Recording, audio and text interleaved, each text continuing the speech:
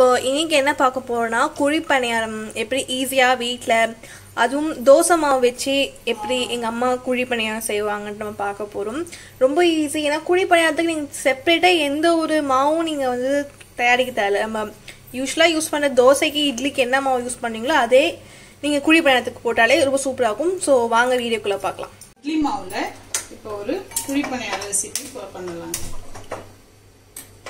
Ice ஸ்பீன்ல வச்சா கல் நல்லா காயும். நல்லா ஹீட் ஆன உடனே. இப்போ இதில் நம்ம கொஞ்சம் கொஞ்சமாக ஆயில் விட்டுக்கலாம் நல்லா ஆயில் போட்டு நல்லா ஸ்ப்ரெட் பண்ணிடலாம் அந்த குழியிலாம் தே இதே நல்ல நயம் எடுத்துக்கலாம். கோல்டு வின்னரும் எடுத்துக்கலாம். அவங்க அவங்க அவங்களோட விருப்பம். அப்புறம் நல்லா ஹை ஃப்ளேமில் வச்சுருக்கோம். ஒன்று ஒன்றா ஊற்றிடணும்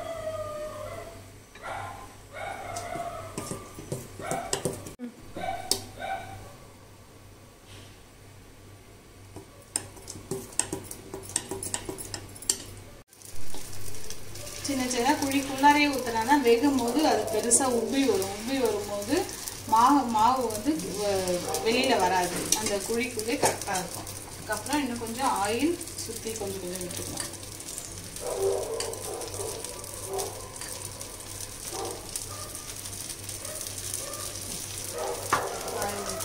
இப்போ கொஞ்சம் நேரம் மூடி வச்சிடணும் ஸ்டீம் கொஞ்சம் ஸ்லோ பண்ணிடுவோம்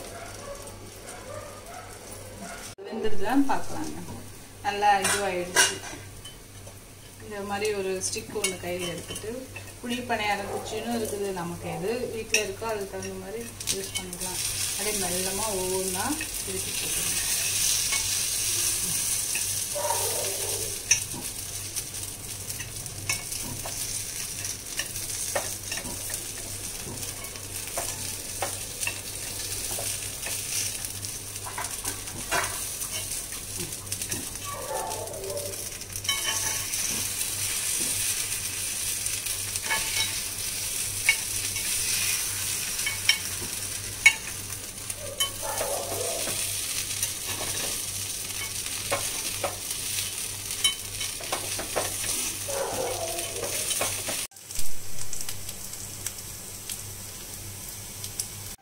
ஓகே ரெடி ஆயிடுச்சுங்க. இப்போ இது வந்து நல்லா வெந்திருக்கான்னு பார்க்கலாம். ஈவினிங் வந்து நாங்கள் ஆஃப்டர்நூன் மதியம் லஞ்சுக்கு வந்து சிக்கன் குருமா வச்சுருந்தோம்.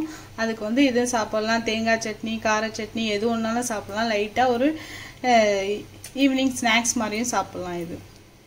நல்லாயிருக்கும் இது வந்து சாதாரண இட்லி மாவு தான் இது குழி பணியாரம் இட்லி மாவில் செய்யலாம். இதுக்குன்னு நம்ம செப்பரேட்டாக மாவு அரைக்கணும்னு இல்லைங்க. இதுவும் ஒரு டிஃப்ரெண்ட்டான ஒரு ஈவினிங் டிஃபன் செஞ்சு பாருங்கள்